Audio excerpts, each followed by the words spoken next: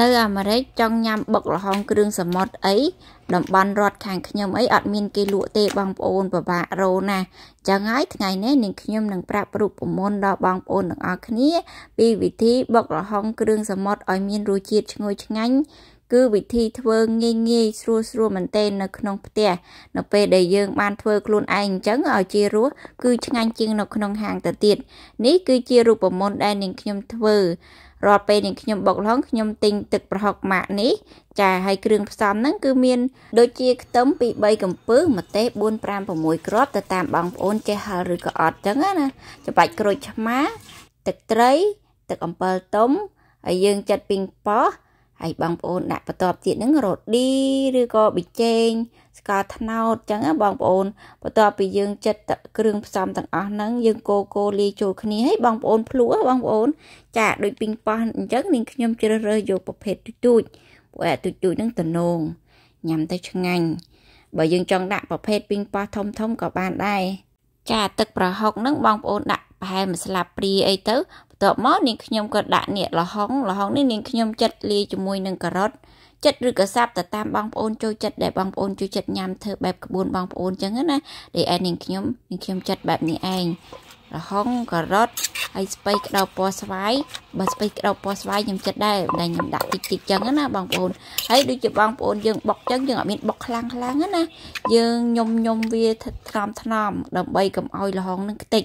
យើងញុំញុំឲ្យកូកូចឹងណាតមកបងប្អូនភ្លក់មកសម្រាប់បុកល្ហុងដែលនាងខ្ញុំយករសជាតិនឹងគឺរសជាតិរៀងដិតរៀងជូរចារៀងធ្ងន់បើទឹកប្រហុកវិញតែតាមបងប្អូនចូលចិត្តព្រោះអីទឹកប្រហុកនឹងអត់ក្លិនខ្លាំងទេ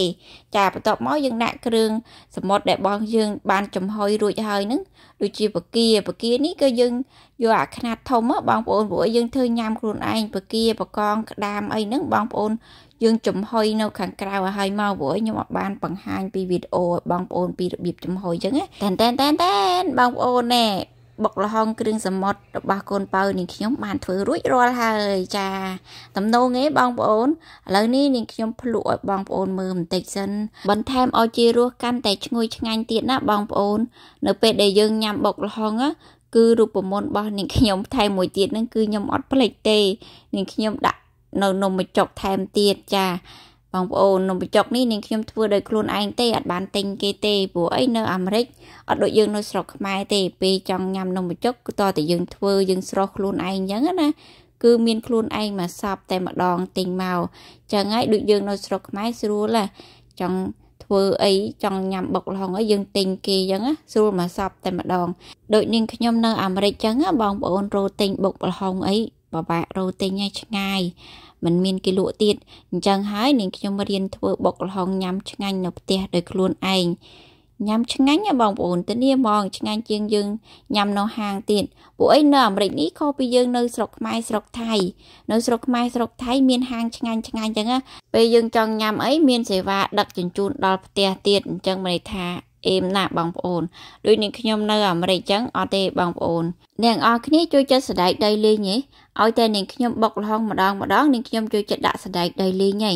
តាបងប្អូនឥឡូវនេះហាមាត់មើល1 2 3អឹមនិយាយពីថាតំណងណាសម្បីតែនាងខ្ញុំបញ្ចូលសំឡេងញ៉ាំហើយនេះក៏នាងខ្ញុំមានអារម្មណ៍ថាអូយមួយម៉ាត់ហើយថែមមួយម៉ាត់ទៀតនិយាយទៅញ៉ាំអស់ច្រើនណាបងប្អូន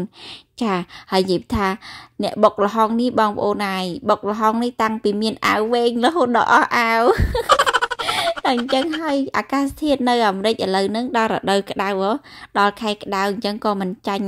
នៅស្រុកខ្មែរដែរអាកាសធាតុនោះមេឃក្តៅអញ្ចឹងនឹកឃើញដល់បុករហុងគ្រឿងសមុទ្រអញ្ចឹងហើយបងប្អូនឥឡូវហ្នឹងហែកជើងក្តាមមួយឲ្យបងប្អូនភ្លក់បងប្អូនមើលបន្តិចព្រោះថាទំនងខ្លាំងណាស់គាត់ទៅលឺសំឡេងក៏ទំនងខ្លាំងណាស់ដែរ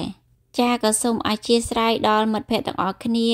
រាល់ការមានកំហុសខុសឆ្គងពាក្យពេចន៍ទាំងឡាយណា ក៏សូមបងប្អូនអធិស្ឋានផងរាល់ការបញ្ចូលសម្លេង តែងតែបញ្ចូលនូវភាពចង់ឲ្យបងប្អូនទាំងអស់គ្នាទស្សនាវីដេអូឲ្យមានភាពសប្បាយរីករាយជាមួយគ្នាចាសម្រាប់បងប្អូនដែលចូលចិត្តនៅវីដេអូជាបន្តបន្ទាប់សូមបងប្អូនកុំភ្លេចចុច follow page ជាមួយ USA នោះបងប្អូននឹងទទួលបាននៅវីដេអូថ្មីថ្មីជាបន្តបន្តទៀតហើយវីដេអូរបស់ខ្ញុំក៏ដល់ទីបញ្ចប់សូមអរគុណបងប្អូនទាំងអស់គ្នាសូមជម្រាបលាបាយបាយ